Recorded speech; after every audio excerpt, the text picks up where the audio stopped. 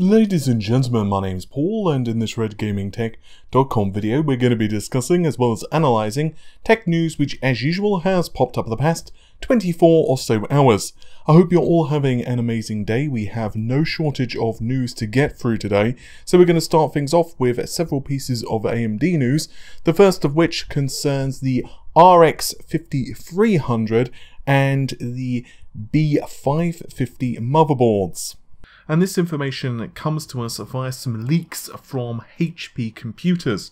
This is actually not the first time that HP have done an oopsie and have accidentally leaked the existence of unannounced products. So the specifications are on HP's own website, although they are limited, and that's putting it mildly. What we can tell is that the RX 5300 XT is a 4GB model and will sport GDDR5 memory. So technically speaking, this is the first GDDR5 model in the RX 5000 series, which also brings us to the inevitable question, what architecture is this? I'll be looking at a Polaris-based GPU, or would this be an RDNA-based GPU but with a radically different memory controller? Unfortunately, we don't have enough information yet.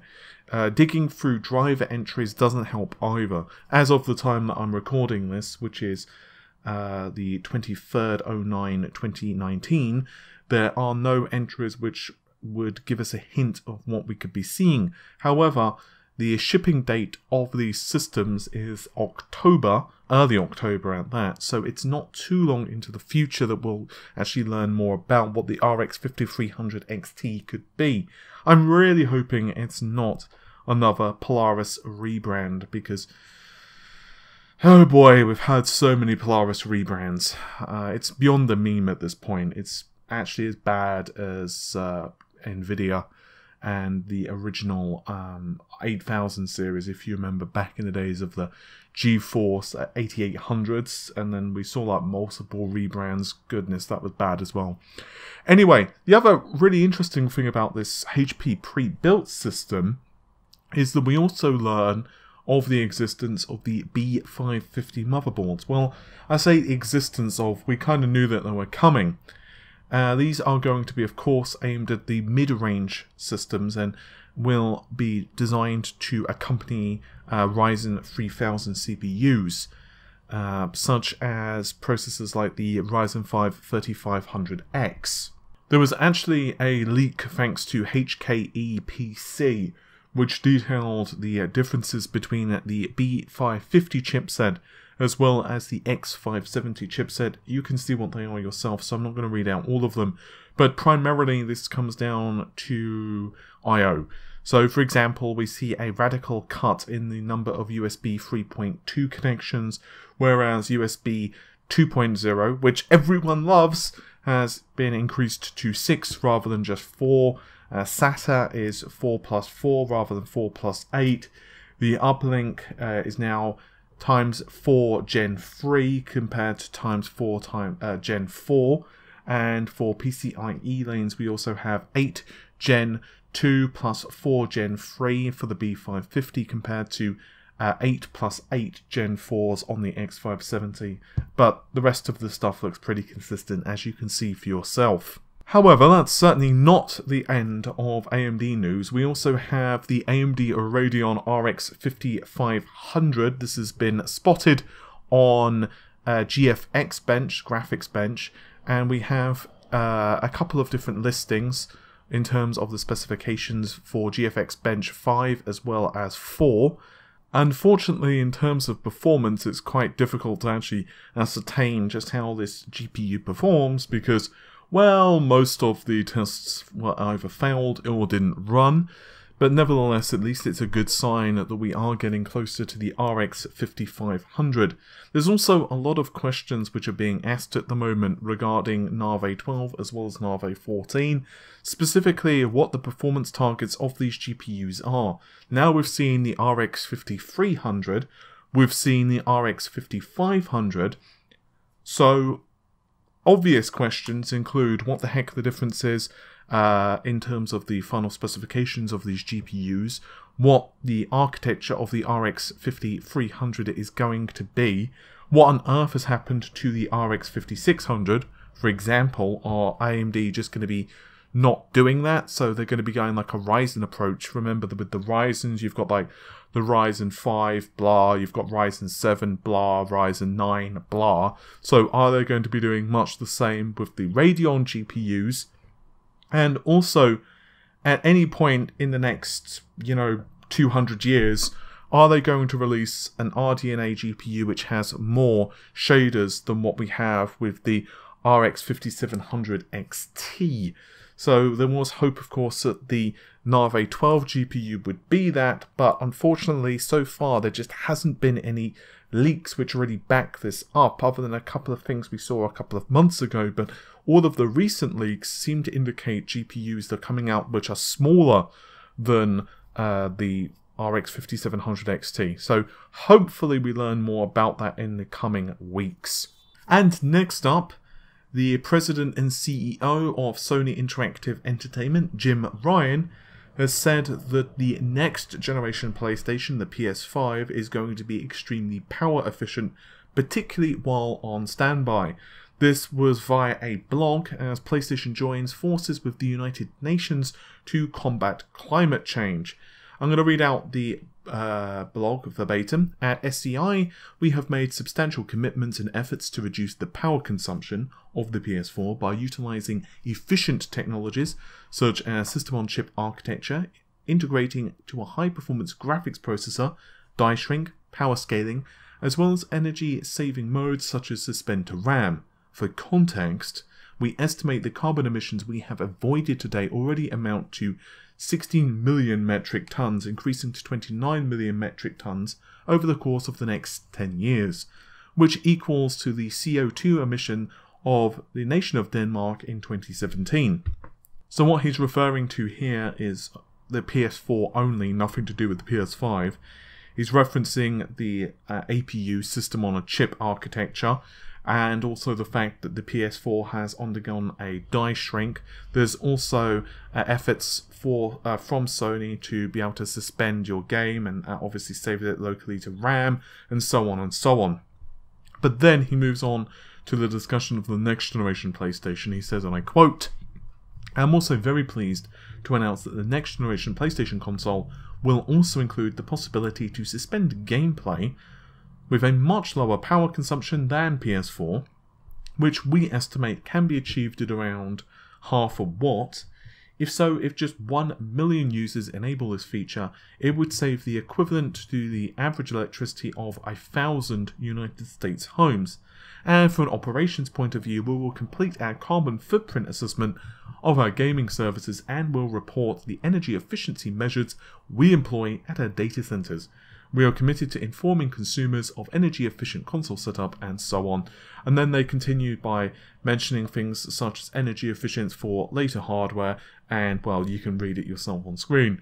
It's going to be very fascinating to see what that actually means for the PS5. So the PS4, depending upon the usage scenario and the variant of PlayStation that you're uh, referring to. So not only the launch model, the PS4 Pro and the PS4 Slim, but also different iterations of the PlayStation because it's gone through so many different revisions, slightly tweak the amount of power, and then of course the software it's running.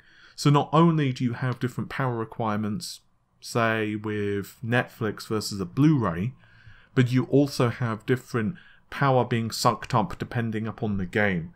So, for example, a small 2D brawler that you're playing on your PlayStation is not going to be as taxing as, say, I don't know, uh, God of War, right? That's just pretty obvious. So, on average, a PlayStation 4 hits around 140, 150, sometimes a little bit more in terms of wattage, but that is considerably less if you are streaming a game. So it's going to be really fascinating to see what happens with the next generation PlayStation and just how many energies it's going to be sucking from the wall. Next up, we have Intel as CPU architect Jim Keller discusses what the design goals are for Willow Cove and other subsequent processors from Intel. These will, of course, succeed Sunny Cove. Intel have been under an immense amount of pressure thanks to AMD's Zen 2 CPU architecture. And it's kind of ironic given Jim Keller himself had such a hand in the design of the original Zen processors. According to lead architect Jim Keller, the next generation CPU architecture from the company, just to be clear, this is not Sunny Cove, will be significantly bigger and also closer to the linear curve in terms of performance. So Sunny Cove is, of course, the successor to Skylake, and it's pretty impressive so far.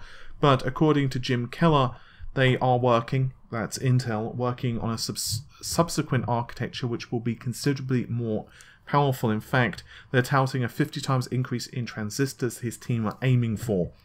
Uh, this is over the next few years.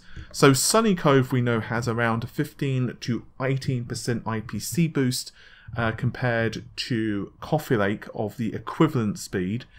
But despite that, we also have a 38% increase in the per core transistor count. So Coffee Lake had around 217 million 14 nm transistors, but according to Jim Keller, Ice Lake has 300 million 10 nm transistors. That's a lot of transistors. But according to a discussion at Berkeley, this discussion, by the way, is on YouTube and is titled Moore's Law is Not Dead. This is a subject that Jim has been very passionate about, uh, actually. Uh, Jim spoke about the evolution of microarchitectures. He began, of course, back all the way in Intel's 8080 days and then uh, started to discuss more uh, recent architectures such as Sunny Cove, which powers Ice Lake. But then he began to discuss newer architectures, and this is a quote from Jim Sunny Cove has 800 instruction window, sustains around but sorry, sustains between 3 and 6 x86 instructions per clock. Massive data predictors, massive branch predictors, we are working on a generation that's significantly bigger than this and closer to the linear curve on performance. According to his thoughts on Moore's law, he says lots of people say, well, hey, we're hitting some kind of limit. I really doubt it. We have a roadmap to 50 times more transistors and a huge steps every single piece of the stack. Remember, computers are built by large numbers of people, but actually many small teams, better prediction, better instruction sets, architecture, better optimization, better CAD tools, better libraries. The number of different places that we are doing for innovation is really, really high. Uh, and so Jim Keller, if you recall, has jumped around quite a number of times. He actually was working at AMD and he was instrumental in the design of Zen. Uh, but then obviously he left. He was even at Tesla for a while. But now, as it is at Intel, and I do highly respect his knowledge because at the end of the day, he's kind of well well known in the industry, and that's putting it extremely mildly. I think it's going to be very interesting to see what happens architecturally over the next few years. While, yes, technically speaking, it is getting harder and harder to shrink down the process, there are ways around that, including things such as 3D stacking and chiplets, which obviously uh, we are see- seeing being used rather well, particularly by AMD right now with the Zen architecture. Uh, Zen 2 has done a really good job with the chiplet side of things, but we also have technologies like Intel's Foveros, uh, which, yeah, it's it's just going to be really interesting to see what happens. I'm very much looking forward to what we're going to be seeing from uh, Willow Cove, which is the architecture directly after Sunny Cove. So, according to the CPU core roadmap from Intel, Sunny Cove focused on single thread performance, a new ISA, and scalability is improved. And then we have Willow Cove, which was a cache redesign, new transistor optimization, and security features. A couple of days ago, I don't remember how long, maybe a week, I can't remember. It's all rolling into one with so many leaks recently. But around a week ago, less than a week ago, I did cover a piece of news that Willow Cove does definitely have a much larger cache layout. It has around 50% additional cache compared to even Sunny Cove. So obviously, AM, uh, sorry, Intel are hitting their roadmap targets here. Uh, Golden Cove is the architecture which succeeds Willow Cove, and that focuses on single thread performance as well as AI, also security and features. but that's a very loose term. Like, what exactly is a security feature? Um, but also network and 5G performance, which isn't surprising as there's so much focus at the moment on 5G from just about everyone. I'm pretty certain at this point you're going to buy like I don't know a frisbee and it's going to have 5G on it. Um, but yeah, it's going to be really interesting to see how all of this uh, ends up against one another because. But I also covered a leak just recently from one of my exclusive sources, and this seems to be backed up by a statement from AMD themselves uh, from their roadmap that says that uh, Zen 3 is going to be very similar to Intel's uh, Sunny Cove in terms of energy efficiency. So I suspect this is going to be really cool in 2020, just how both of these companies are going to be competing. And with any luck at all, both are going to have ab- absolutely amazing products because at the end of the day, that just benefits us as consumers. Anyway, with any luck at all, Anyway, with any luck at all, you've enjoyed today's video. If you did, then the normal stuff, like, share, comment and subscribe because it helps us out a ton. You can also find us on social media, which is linked down there below, and also Amazon affiliate links as well as Patreon. Don't feel you have to, but if you are buying you know, something like a new TV or whatever, and you decide to use one of the Amazon affiliate links, it does provide us a few pennies, which of course does help out with the costs of running the channel. But I wish you all a fantastic day. Take care of yourselves. Bye for now.